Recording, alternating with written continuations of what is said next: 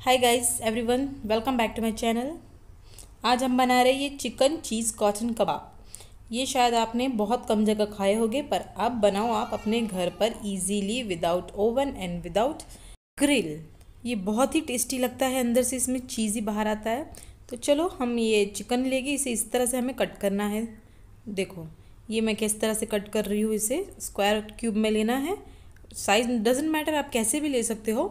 But इसे इस तरह से कट करना ताकि हमारा चीज़ अच्छी तरह से अंदर बैठ सके।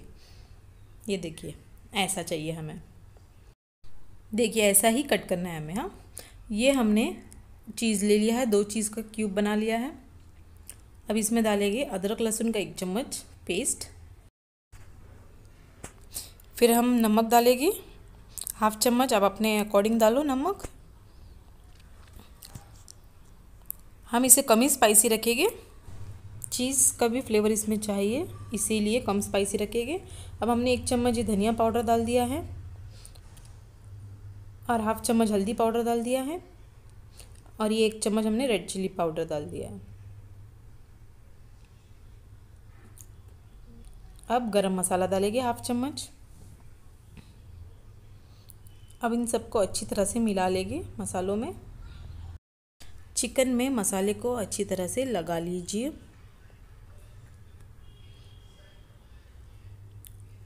अब हमें क्या करना है?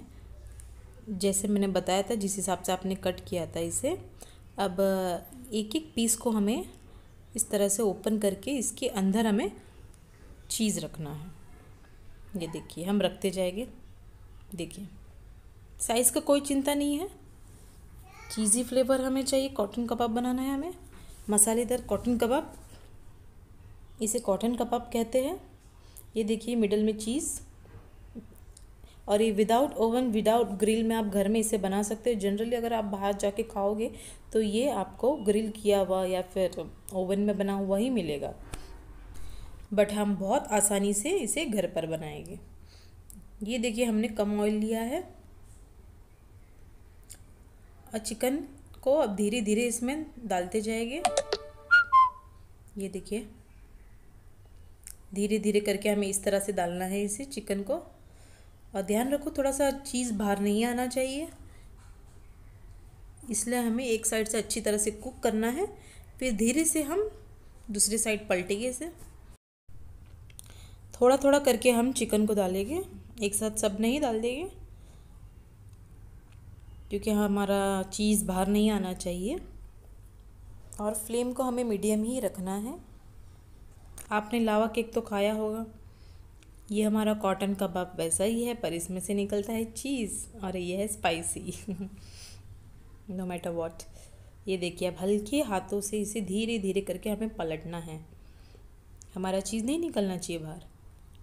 ध्यान से पलटना है। ये देखिए चीज़ हमारा अच्छी तरह से मेल्ट हो चुका है इसके अंदर। एक साइड से ये कुक हो चुका है, हम दूसरी साइड से इसे अच्छी तरह से कुक करेंगे। अभी ढक के कुक करेंगे ताकि स्टीम से चिकन दोनों साइड से बहुत अच्छी तरह से पक जाए। ये देखिए हमने सारे के सारे अभी पलटा लिया है। I am hundred percent sure ये आपको रेसिपी बहुत अच्छी लगेगी। आप इसे ज़रूर ट्राई कीजिए। अगर पसंद आए तो मेरे चैनल को लाइक करो सब्सक्राइब करो शेयर करो और बेल बटन दबाना ना भूलना न्यू रेसिपी के लिए।